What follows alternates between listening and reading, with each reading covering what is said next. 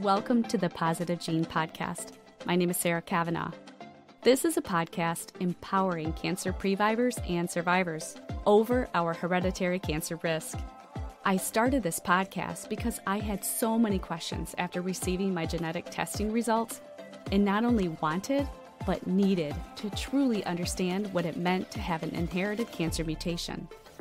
We will discuss important topics from a patient perspective like finding credible online resources, opportunities connecting with others for support, and building your medical team, and so much more. We're all in this together, and I'm so thankful for your support. Let's dive in. So, welcome to the Positive Gene podcast, where we delve into the empowering world of navigating hereditary health challenges with grace and strength. I'm your host, Sara Kavanaugh, and today I am thrilled to introduce a special guest, friend, and yoga teacher, Marina. Marina Mukhandala.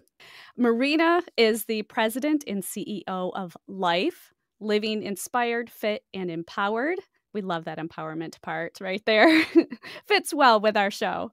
Marina is an accomplished yoga teacher and entrepreneur who brings a wealth of experience to yoga, mindfulness, and personal empowerment. Her journey includes extensive training with Baron Baptiste and the creation of transformative yoga programs. Marina's work is all about empowering the mind, body, and spirit. So, you are truly inspiring, Marina. I really appreciate you being here. You have such grace and beauty and everything that you do, and your whole presence just Uh, lights up the room every time I see you. And I think I'm probably not alone when I say that anybody who leaves one of your classes always feels restored, reinvigorated, and just truly blessed. You always end our classes with some kind of inspirational message or quote or a message from the Bible, right? Somewhere where we just get some beauty kind of overflowing over us. So I always appreciate everything that you do for us. And I wanted to bring that energy right to the podcast um, because you're just amazing. So, welcome to the show. Yes, thank you so much for having me. you're welcome. So, let's talk a little bit about what inspired you to establish life or l-i-f-e and and how yoga became sort of a cornerstone of your life so you can kind of give us a little bit of background on on your journey yes absolutely i started yoga at the age of 24 i was riddled with anxiety during that particular time in my life i was fairly newly graduated from college from my undergraduate studies and entering the real world, quote unquote, and really in this place and space where I was trying to figure out where I belonged. What is it that I'm supposed to do with my life?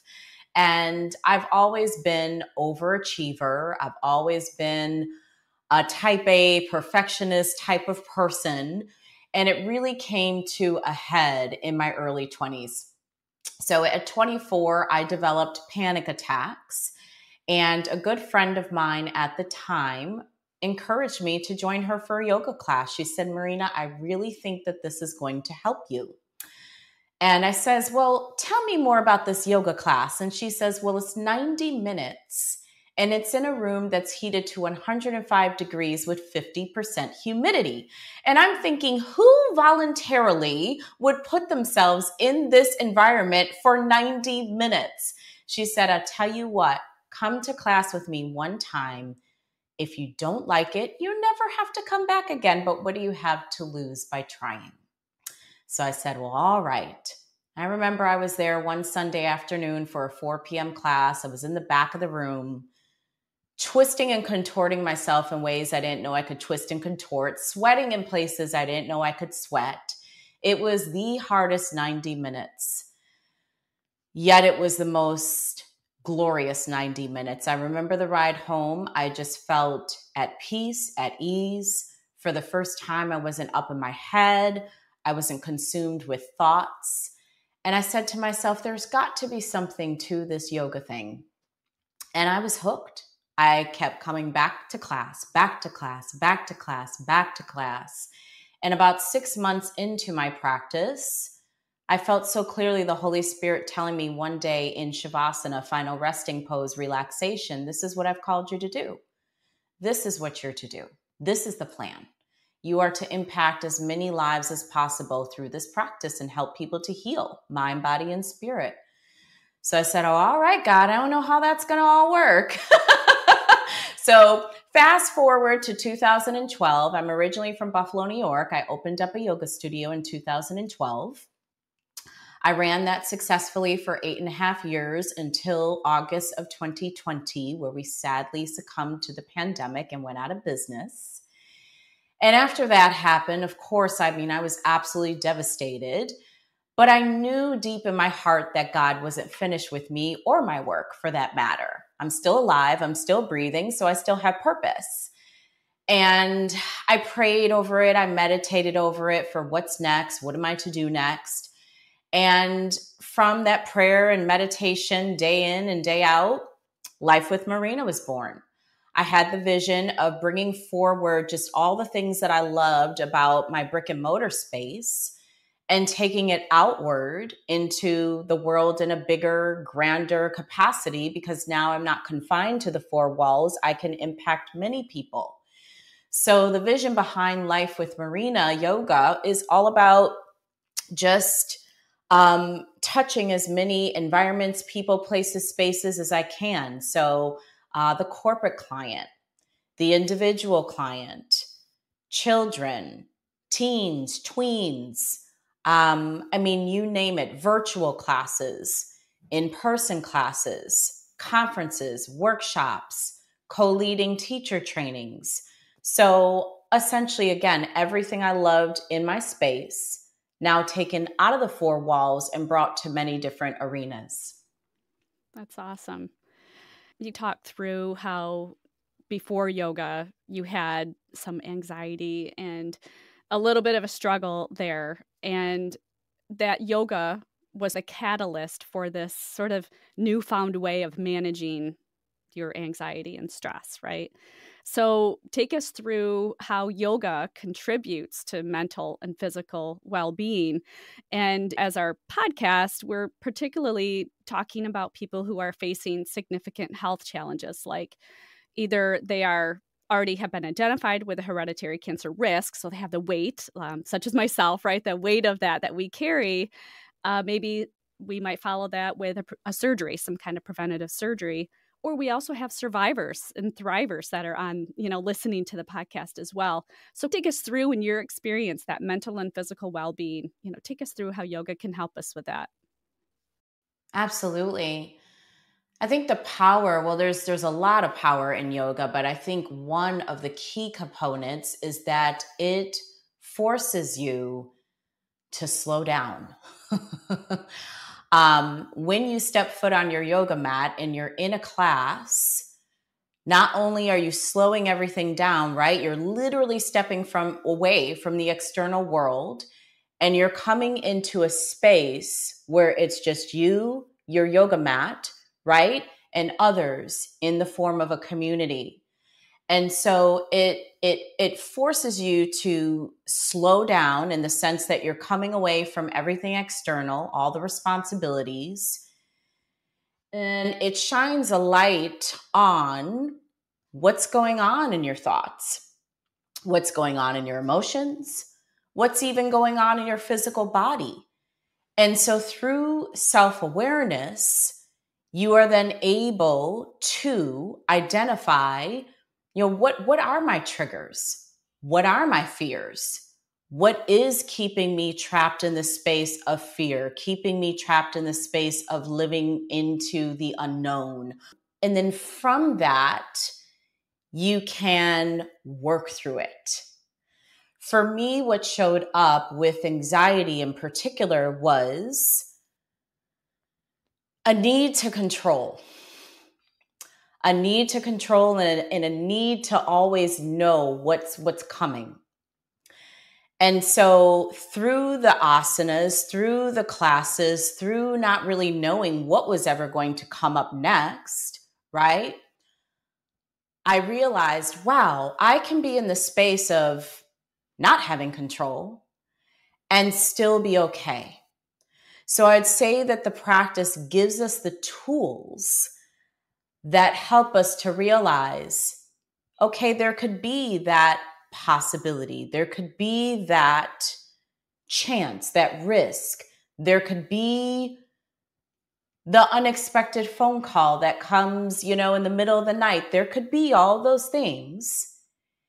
And in the midst of those, I still have the tools breath, meditation, prayer, community to navigate what it is I'm going through. Mm-hmm. It's just hearing you say it in the sense of breath, prayer, meditation, community. People may not think of yoga, you know, if they're not experienced with the yoga community, it is more than just showing up on the mat to stretch, right? Yes, absolutely. Right? And that kind of ties into the the question of the mind body connection. You're speaking to yoga helping us manage our way through these fears. And it, there are elements of yoga that teach you forms of meditation and gives you that toolkit, like you said. If somebody looks to this as a practice or isn't interested in kind of taking that leap, how do you believe that yoga strengthens that mind body connection to help us manage that stress? And, and I'll follow that up with maybe another question related to some some practical techniques. But what is that? What is how does yoga strengthen the mind body connection to manage us through that stress and anxiety? Yeah, great question. So when you get on your yoga mat, like I say, you're stepping away from sort of everything external. So then what does that leave you with? It leaves you with yourself, right? You you you meet yourself. You can't hide from yourself or run from yourself in a yoga class. You're there. One of my favorite sayings is where you go there you are. So when you come into a yoga studio and you're on your mat, there you are. So you immediately notice the thoughts. I mean, they will come up very quick in certain poses as well. You know, plank pose, if I'm holding the top of a push up, for example, for five to 10 deep breaths, my mind is going to start to go, right? So there's again that self awareness piece. Where's my mind? Where are my thoughts? And then by acknowledging where the mind is, it then allows you to drop into physicalness, right? The physical body. Okay, my mind is saying I have to run from this plank. My body, though, reminds me that I'm actually okay in this plank. My hands are on the floor, my feet are on the ground. There's options, right? In a yoga class, just as there is in life. I could lower my knees. I can take a child's pose and rest. So there's the mind, right? We notice the thoughts, we notice what's there.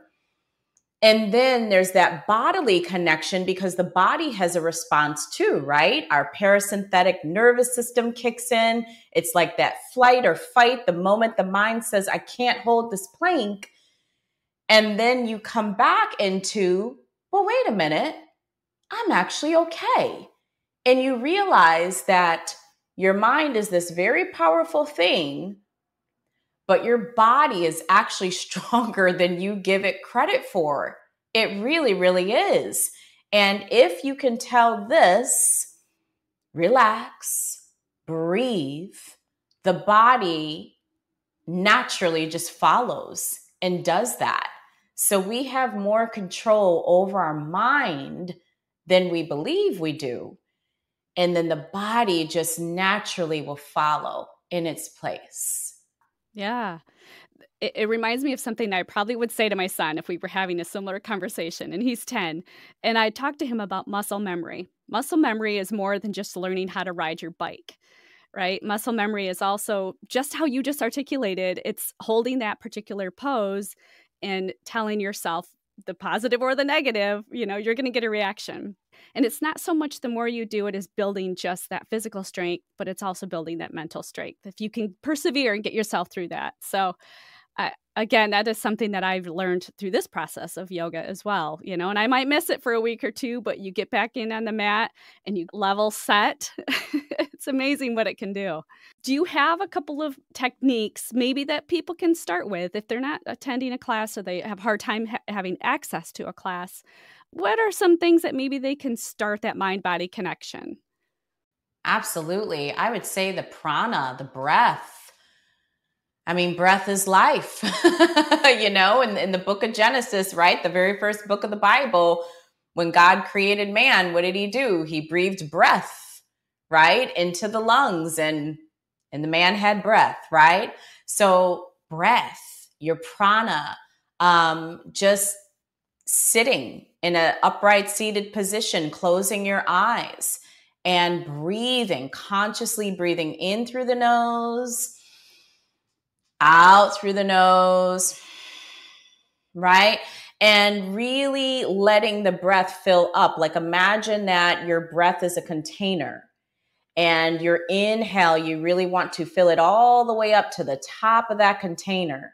And then the exhale, gently let it come all the way down. Another analogy I like to think of is blowing air into a balloon, right? So we blow that air all the way in into our maximum like lung capacity. And then if we want to like let the air go, just slow and steady, let it seep out of the balloon.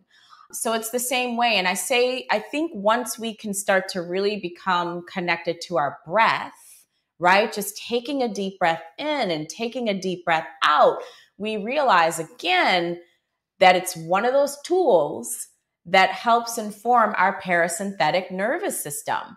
I remember when I would have panic attacks and I began a yoga practice. One of the things I would do immediately when I felt the panic attack coming on was breathe. Like for the first time, I had a newfound tool that allowed me to say, Marina, this is just stress and overwhelm that is not being properly managed. You are okay. You are safe. Breathe. And when I would just stop wherever I was and take three deep breaths in and de- deep breaths out, it was amazing how the panic would just, you know, I like to think of it as a wave, right? It was like at a peak and then like a wave, it would just wane from me consciously breathing. So I would say breath, begin with just some breathing exercises. Yeah, that's great. I love that.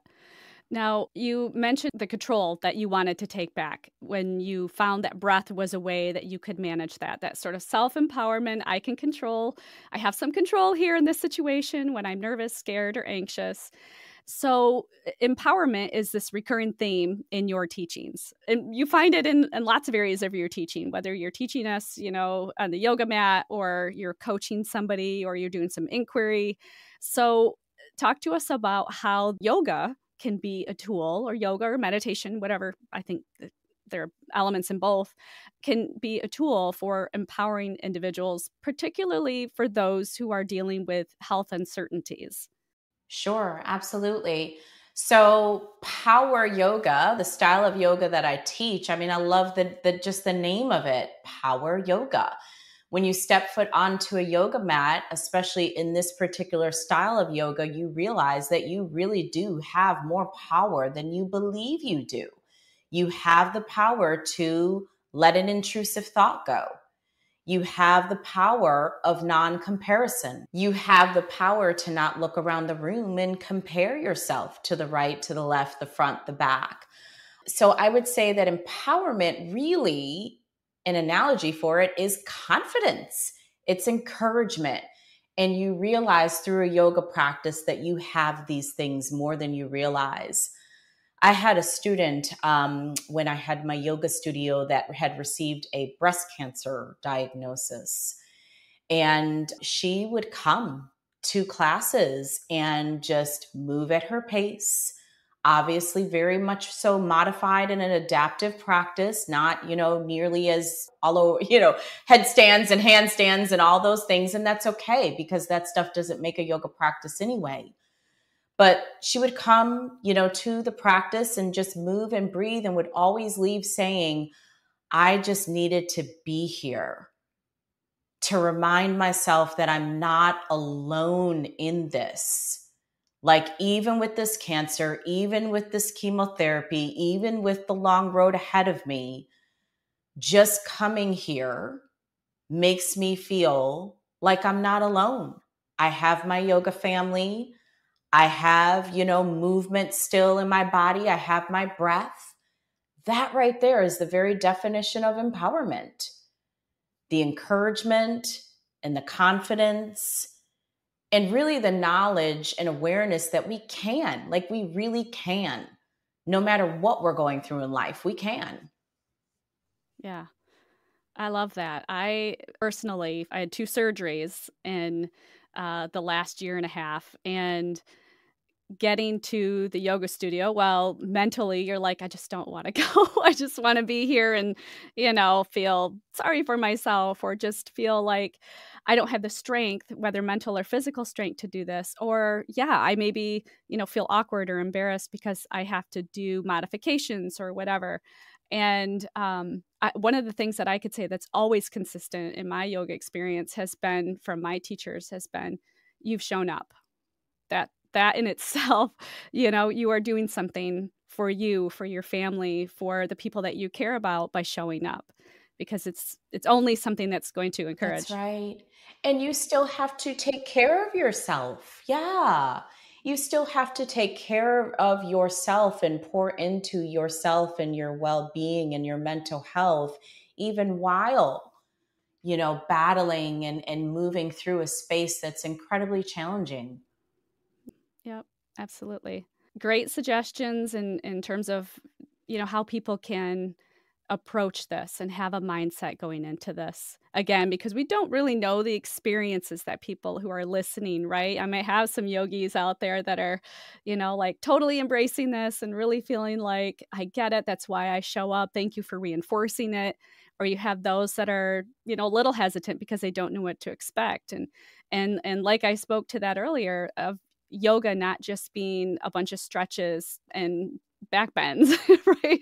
It is so much more complex than that. And we've, in fact, we've not even talked about the quote unquote exercise.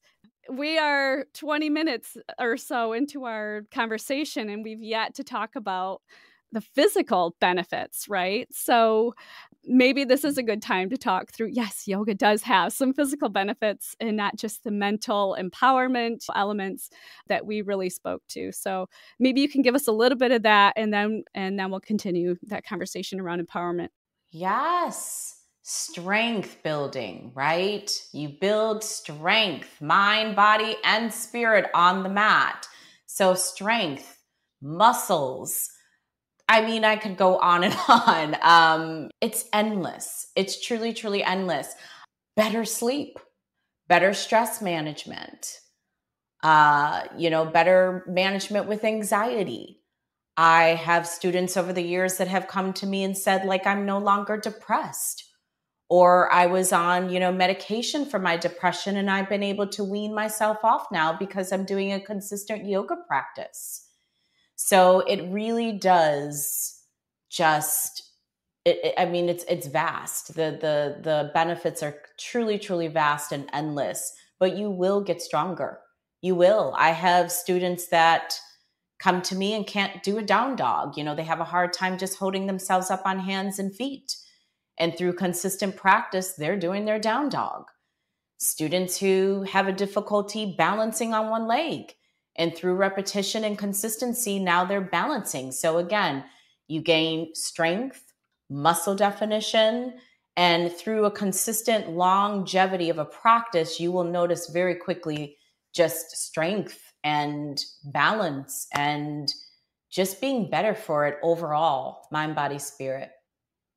Awesome. I would agree. One picture that comes to mind for me is that um, that test that you do when you're seated on the floor, kind of crisscross applesauce, and try to get up without your hands. And I use that as an example, sort of mentally, like if you can do that challenge, or if you're struggling to do that challenge, because I've seen, uh, you know, folks do this as part of their physical therapy to give themselves that goal to be able to just be able to pop up out of that position, and that is a sort of an indicator of your strength and flexibility, your your core, which is super important. Yes, flexibility You took the word out of my mouth. I was thinking of it. you definitely gain that through yoga. And you know, I'd like to just touch upon a lot of people think they have to be flexible, Sara, to start a yoga practice. And I always tell people you get flexible through the yoga practice. So it's not a prerequisite to starting a yoga practice, but rather a benefit of doing yoga is you're going to get flexible. It's just going to happen. I have people all the time say, I couldn't touch my toes. Now I can. One of my favorite quotes is Yoga's not about touching your toes, it's about what you learn on the way down to touching your toes. I love that. Awesome. Well, let's switch gears a little bit and talk about inquiry and empowerment in health challenges. So, your work in inquiry has helped many folks navigate challenging emotions and situations. Sometimes you share one of the stories that you learned when we're in your class. And I love that because people need stories that will resonate with them, right? They hear other people's experiences and they know, like you said, I'm not alone. So, tell us about inquiry, really how it specifically can support you know my audience like through their hereditary health concerns or fears that may come with something like a cancer diagnosis. So inquiry really is all about just being introspective. You know like i said where you go there you are. And so the inquiry work is just being an inquiry around something. So for instance if i am holding a warrior two pose in a yoga class and all of a sudden I feel like I'm going to cry. That's an opportunity to be an inquiry around hmm, where'd that emotion come from? What made me feel like I wanted to cry in Warrior 2 today? And as we're in inquiry, the answers just they just flow to us, right? We realize, huh, I wasn't really over that argument that I had with my spouse. I wasn't really huh, um, detached from that difficult conversation I had with a loved one the other night. Right? And that's inquiry is just being in introspect, noticing what shows up for us, and then just being curious around, hmm, Where'd that come from? You know, same could be said for anger. If I'm holding plank and I feel like I want to drop like F bombs and, you know, throw something at the teacher, it's like, where is that coming from? Right? If I feel scared, if I feel, you know, like I, I just want to flee and run out of the studio room, again, where are these emotions coming from? And as we can get more in touch with what we're feeling, then there can become greater healing opportunity from that. Another favorite quote of mine, I have many, is, you know, in order to feel, in order to heal, excuse me, in order to heal, you have to feel. And that the only way out is through the only way to go out, right, of a door is to go through the door. We have to do the work of the feeling so that we can ultimately heal. My uh, student who had breast cancer would often share that the class would bring up a lot because, again, you're facing yourself. You know, if you're holding a warrior two and you're looking at yourself in the mirror, or your gaze is, you know, over your right hand fingertips and you're just in the zone, it's like it's easy for the stuff to come up.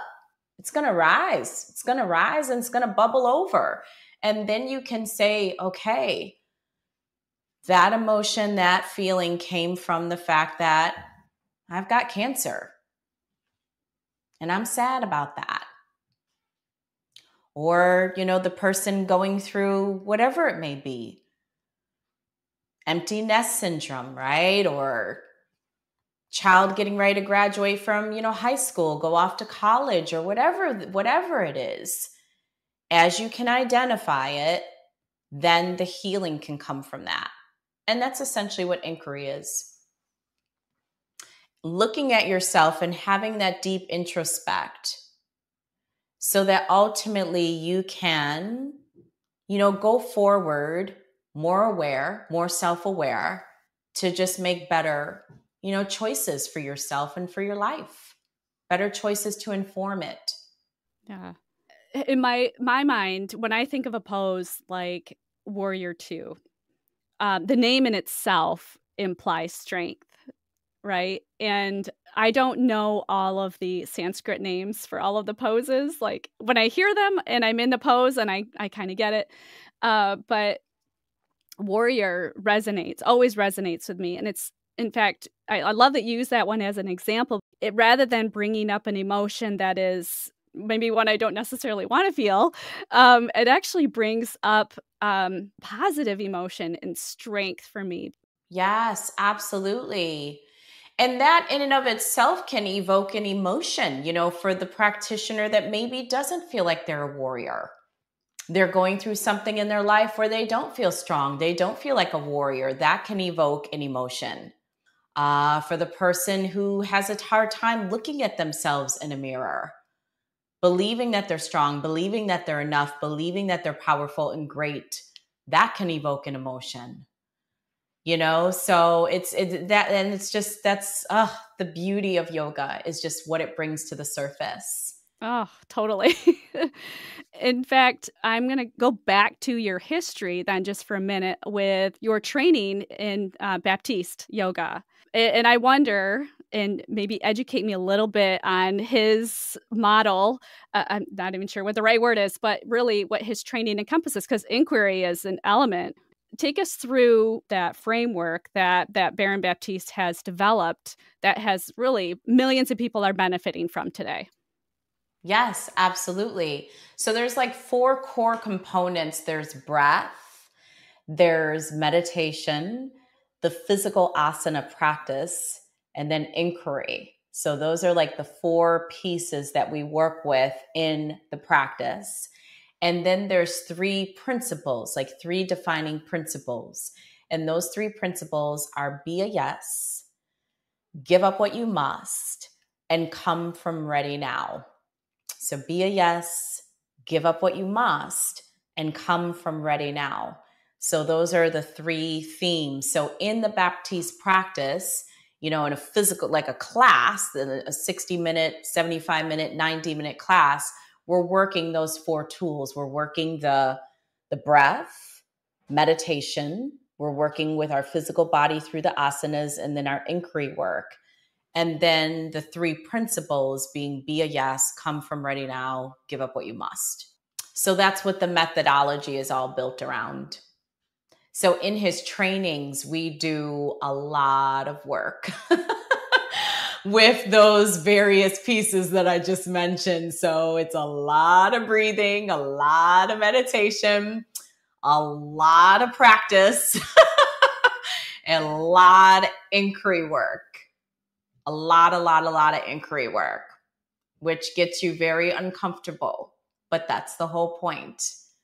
And then those three defining principles is really what a lot of the inquiry work is around. You know, how can I show up as a yes more? and not yes in terms of saying yes to everything, but saying yes to the things that I know I'm being called to and that matter, and then therefore having the strength to say no to the things that don't align with it. In order to give my yes, I have to give a no to something. Giving up what you must. What are the constraints? What are the areas in your life that just are not serving you? they're not serving your thoughts they're not serving your life they're not allowing you to live joyfully abundantly what what are the the areas what are the habits sometimes it's people sometimes we have to you know look at that too um and come from ready now this idea that tomorrow is indeed uh like not guaranteed right? And that yesterday is past. So what we have is the now. And that's the very yoga practices that it teaches us that we just have the moment that we're in, the pose that we're in, the breath that we're in. So it invites us to be present and to come from now. So right now, I'm ready. I'm just ready. I'm ready for, you know, whatever comes. And he would tell us that in training too. He'd be like, okay, come back after lunch and just come, come ready. And we'd be like, well, what does that mean? Are we going to practice? Are we going to meditate? Or, and we'd be like, okay. So we knew that meant, well, bring your mat just in case he decides to throw in a practice and be ready. It's funny because, you know, I've been practicing for on and off for several years, more so in the last couple of years as I've found how much I really love yoga and how much I need it in my life but not really knowing this uh, the principles that you just described. A lot of you that i've worked under i specifically know i want to go through somebody who's had baptiste training because i love the pillars i love the structure and it's funny you can go into this and not know that that's what you're getting out of it. You actually there is a process there is logic to how the class is being taught. It's not just a head to toe stretching and flexibility and breathing it's there's actually a very purposeful structure to each class that you attend. Would you encourage people, if they're interested in looking into this more, would you encourage specifically for Baptiste yoga instructors? Is there a way to find that if that's sort of the model you're looking for? But I'd love your thoughts. So I would say yoga is yoga is yoga whether it's Baptiste yoga, whether it's Hatha yoga, whether it's gentle yoga, whether it's yin yoga, whether it's slow vinyasa yoga. I mean, it's all yoga. It's all under the umbrella of yoga. So I would say it doesn't have to be Baptiste style. Just start. Just get to any yoga class and begin the journey. As long as you are breathing, you're present, you're you're doing yoga no matter what the name is or the umbrella that it's underneath it you know the lineage i just so happen to have my training in the baptiste style. I love the baptiste style. It's the way that my body personally likes to move. Um, i love a challenge and the baptiste practice is very athletic. Certainly malleable and flexible though to anyone. That's the other thing i love about it is that you can still be in a Baptiste class and do your thing, you know, and make it your own practice, modify, adapt, add, subtract. When I had my studio, I had clients as old as 70 years old that would come to my classes and they would just make the practice what they needed to have it be. So I just say do yoga. I love it. Yes. Well, is there anything that we didn't talk about today that you would like to share with our listeners? Oh, goodness. I would say just be encouraged. Wherever you know your life finds you right now, whatever season you're walking through at present, be encouraged. I always tell my students so long as you have breath in your lungs, a heart beating in your chest, there's hope. Why is there hope? Because you're living. You're living with the diagnosis, without the diagnosis, with the chance, with the risk, with the threat, with all the unknown that we live with day in and day out. You have breath, you have heartbeat, there's hope. So live that way. You know what I mean? That's what I mean when I say be encouraged. Like, really, truly be encouraged in each and every day because you're here. So, God still has work to be done in and through you, no matter what. And sometimes our lives and what we go through are living testimony for someone else, right? My student who had breast cancer now can hold hands and rub shoulders and walk alongside another woman who battles breast cancer because she went through it. And so now her testimony, right, can be a blessing to someone else. So be encouraged. Be encouraged. Yeah. That's beautiful.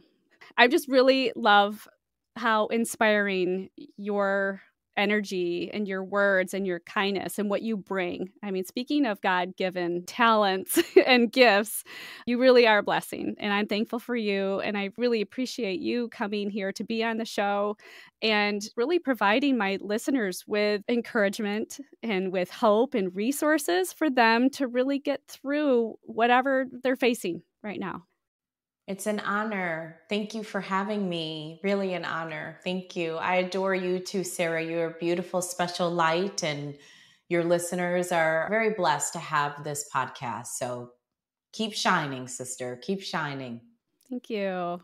Okay, so for our listeners who may be eager to connect or explore your services, if they're, because uh, I understand you are virtual, so you don't necessarily have to live in Middle Tennessee with us, um, give us a little bit more information.